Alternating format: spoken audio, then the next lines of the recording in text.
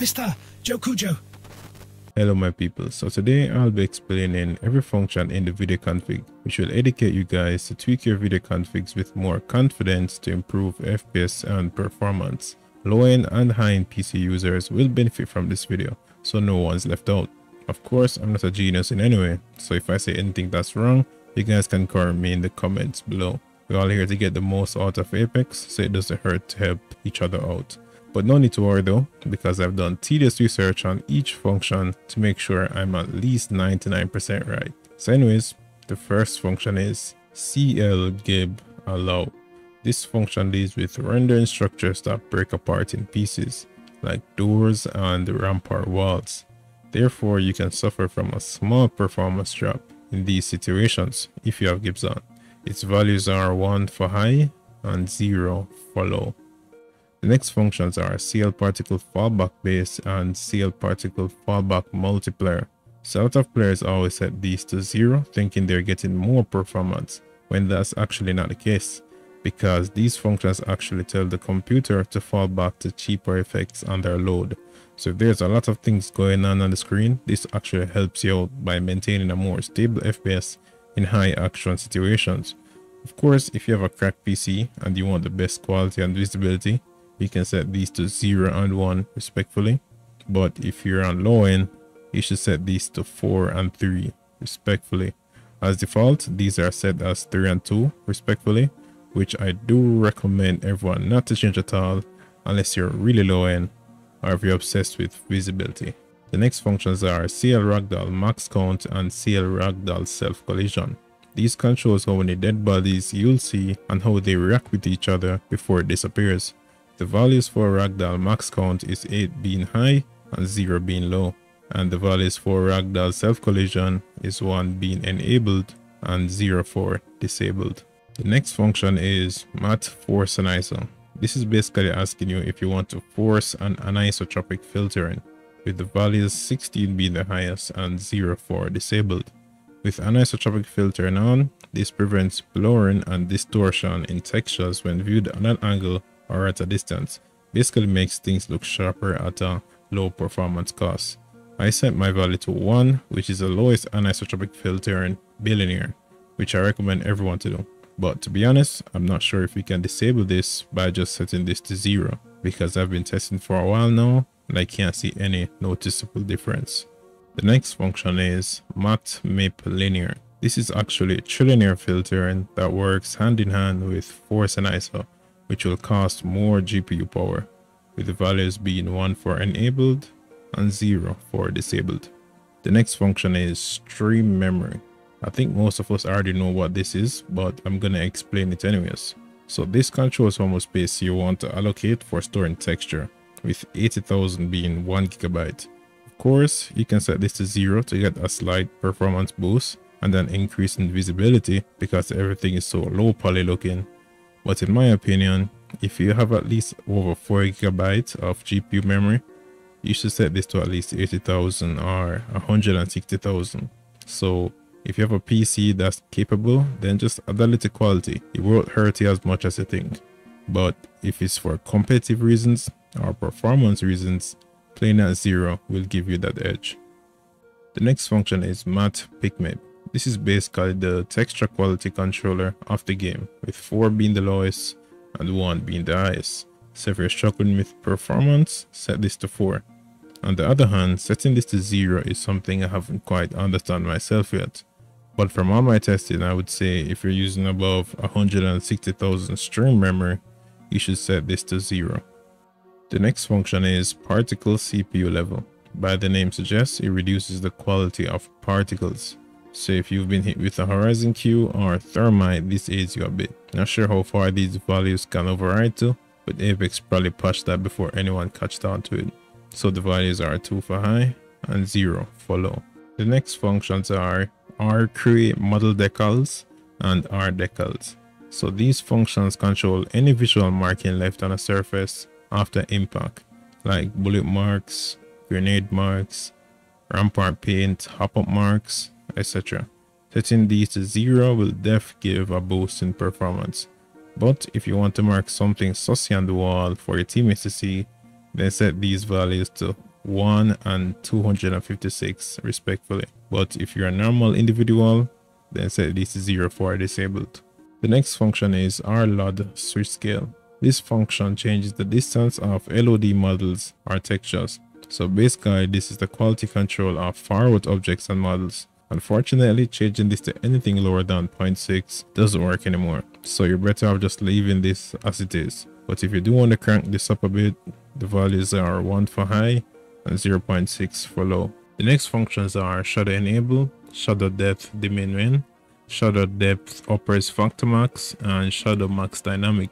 Now all of these functions are for the quality and movement of spot shadows in the game. These are dark areas that are formed on models to give it more detail, and dark areas casted by structures. So the values for these are shadow enable 1 for enabled, and 0 for disabled. Shadow depth dim min 512 for high and 0 for disabled. Shadow depth upres factor max 3 for high and 0 for disabled. And shadow max dynamic is set to 4 for high and 0 for disabled.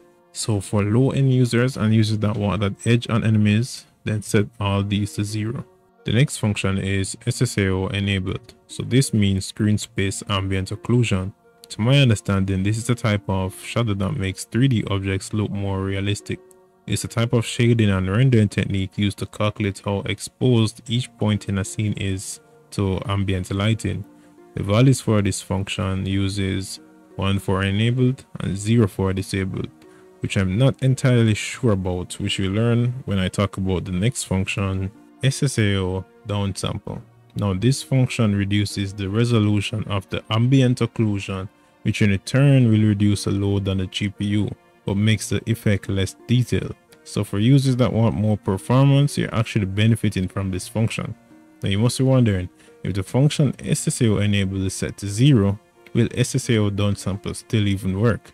Now the answer to that is, I think it works, but I'm not 100% sure. Because after I finished tweaking all my video settings to the lowest in-game, I opened up my video config after and I saw SSO enabled set to 0 while SSAO downsample set to 3. So it had me thinking, does 0 really mean it's disabled or low? What I recommend you guys to do is is to set this value at 3 because if SSAO enable is actually disabled then this value won't mean anything. But if it is set to low, it will give you a boost in performance at the cost of visibility. But if you're all about sharpness and quality, you can set this to zero. The next functions are DVS enable, DVS GPU frame time min, and DVS GPU frame time max. Now these functions are the adaptive resolution FPS target controller in the video settings, which will dynamically lower the resolution to try and maintain the desired frame rate. If you're a high-end user, I recommend you to disable this by setting the function DVS enable to zero. The other functions GPU frame time min and max values doesn't matter or won't work while DVS enable is disabled. You will gain better visibility by doing this. But for low-end users, you can greatly benefit from this by using this formula which you'll see on the screen to calculate your GPU frame time values for your target or current frame rate.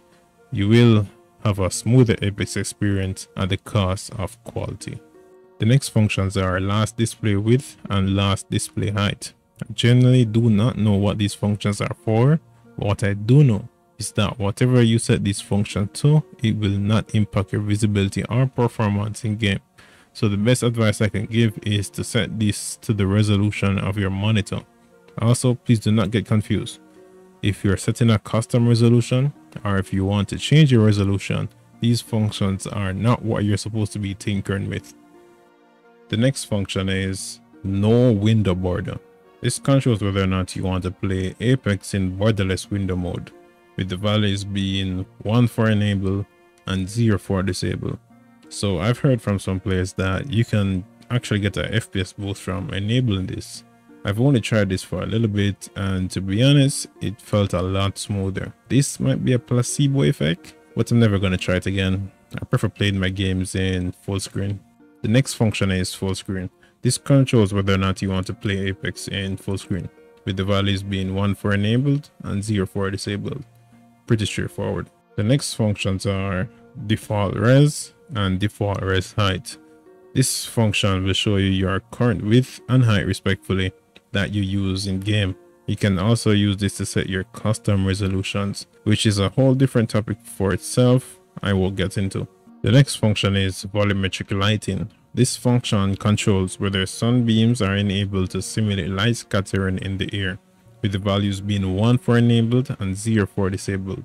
This function gives the environment a sense of realism because of the effect it has on light as it bends and bounces off surfaces at the cost of GPU power.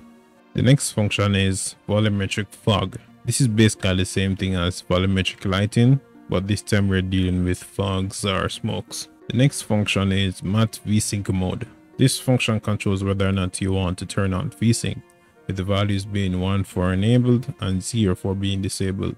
Of course, if you're a competitive gamer and you always want that edge, you want to avoid this by disabling it. But if you're alone and you're suffering from screen tearing, this can actually help you out a lot if you enable it. The next function is mat back buffer count. This function stores texture data temporarily so it can be rendered more seamlessly, with the values being 2 as the highest and 0 for being disabled. Of course, if you're playing with 0 stream memory, you should set this to 0, but if you are playing this stream memory, you can set this to 1 to reduce flickering when loading textures. Of course, you can set this to 0 as well for no buffer, which will then try to match with their VRAM, but there's barely any performance difference if you do so. The next function is mat anti-alias mode. This function removes jagged edges from models and structures. Basically anything in the game with an edge that's jagged will be removed, with values being 12 for high and 0 for disabled. Now I'm pretty sure almost 70% of PC players have this turned off because it's claimed and proven by many pro players that turning this off will give better visibility on enemies which at the same time gives a boost in performance. It's like the best of both worlds. The next functions are CSM enabled CSM coverage, CSM cascade res. These functions control the quality and detail of all shadows produced by the sun. The values are CSM enabled, 1 for enabled, and 0 for disabled, CSM coverage, 1 for low, and 2 for high, and CSM cascade res, 128 for low, and 1024 for high.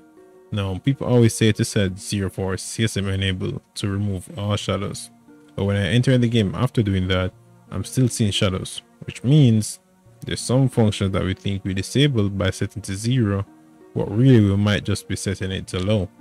Functions I think are responsible for this are SSAO enable, SSAO downsample, CSM coverage, CSM cascade res, and new shadow settings. I'm not 100% sure, but I really do believe that. So do what you will with that information. The next function is fade dist scale. This function controls the distance at which models and textures are fully rendered with 0.1 being the lowest and 1 being the highest. I think you can go higher than 1, but I think it doesn't make any sense you do so since 1 was set as default. So if you're looking for FPS boost for the cost of quality, you can tweak this down a bit. The next function is DVS super sample enable. This function dynamically raises the render resolution if the game is running faster than the target frame rate, with the values 1 for enabled and 0 for being disabled. So this is basically the opposite of the function DVS enable. I recommend everyone to disable these, but if you're in a low-end PC, you should really give the DVS functions a try. But if it's not to your liking, you should try copying your FPS instead. The next function is new shadow settings. Now this is a function that is very new and unknown, so my best advice would be to leave this as default with the value set to 1. I've tried playing with the value set to 0, but I don't see any noticeable difference. Or maybe I haven't tested it enough. Who knows? The next function is gamma. This is the brightness control in-game with the highest value being 1.7 and the lowest being 0.25. The next function is config version. Now as the name suggests, this function is just to identify the video config version, I think. The last function is DX version check timestamp. I'm not 100% sure about this, but I think this has to do with login data. That's the only idea I have about this one. So this is the end of the video guys. I hope this helped a lot of you guys to have an idea of what each function does so you guys can tweak your video configs with more confidence. As I said earlier, if any brainiac comes across this video and can give more info on some of these functions, I welcome it fully because you're not only helping me, but everyone who stumbles across this video as well. But anyways, please remember to like, comment, and subscribe if you found this video helpful. And I'll see you legends in the next one.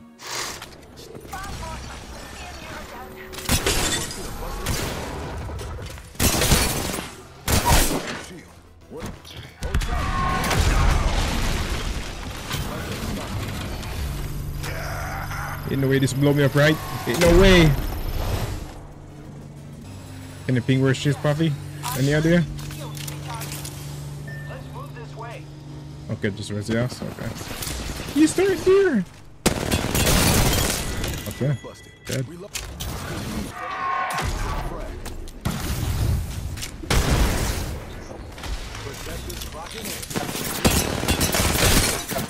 So what? Oh! It's a guy on me. Oh my god, guys. Can you guys look at me?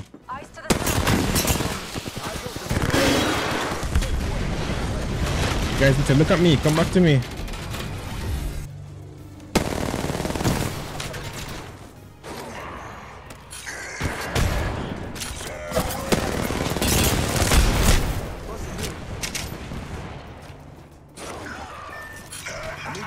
No fell, party. Ain't no fell.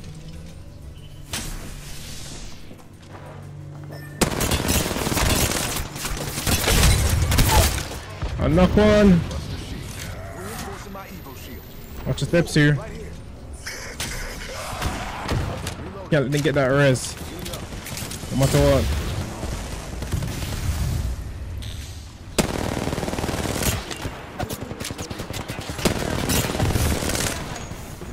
I'm gonna stick the heel here. We have to walk up on that. Like no matter what. I'm gonna peek from the other side.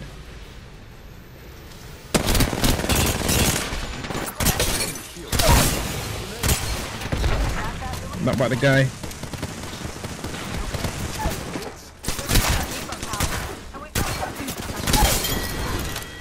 Let's see that guy. Holy shit. Let's do it. All right. Got a bunch of teams here. I'm gonna hit the hit back here. Oh, that's funny.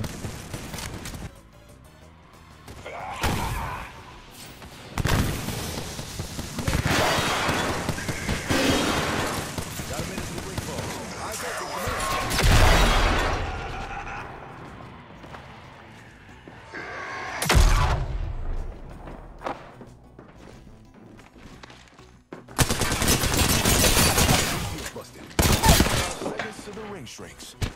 And I'm close. Toss it down.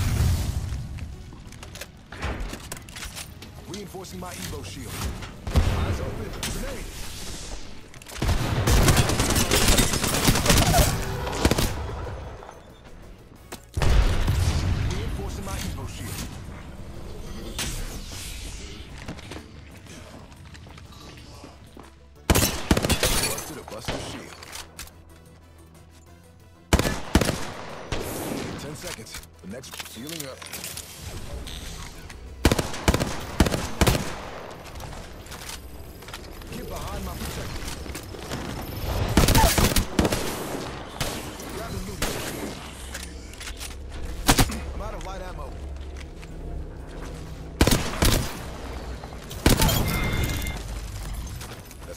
Kill for Newcastle.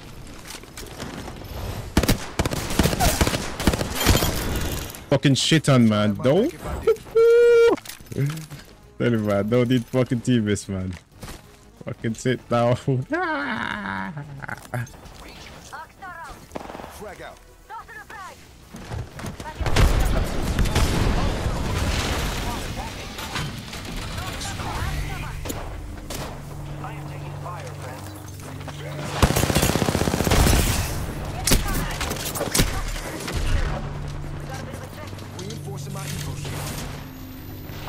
a octane on me.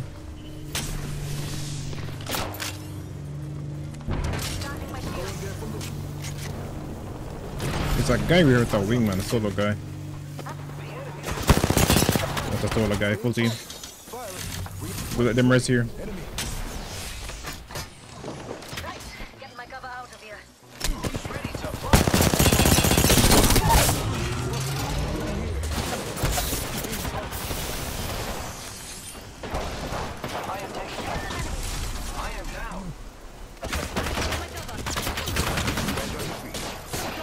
Place some shields down.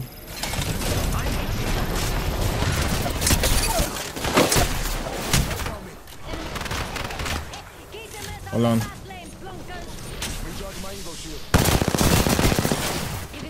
Yeah, kill there.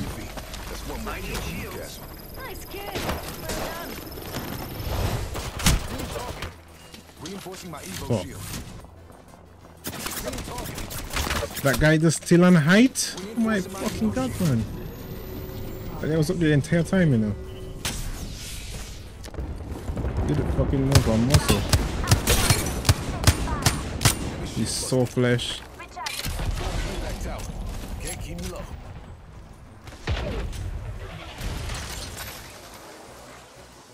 There he is.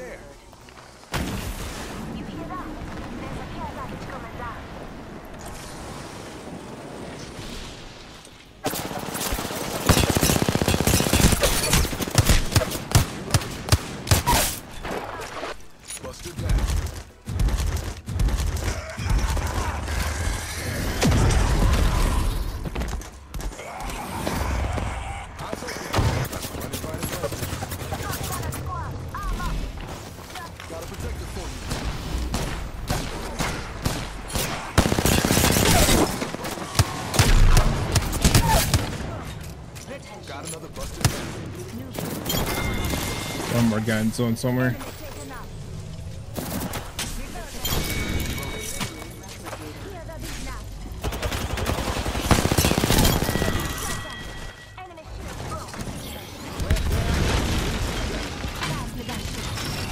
Bless. Sorry, I heard someone, man.